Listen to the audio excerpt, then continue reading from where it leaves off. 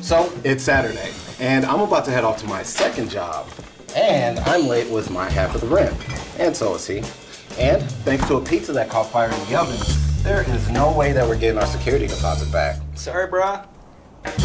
And I can't wait until my degree opens the door to a great career and a life without roommates. I heard that. Life is full of ands, but with a degree and the support of Career LifePrep, you can handle them all. Bryant and Stratton College, for every and in life.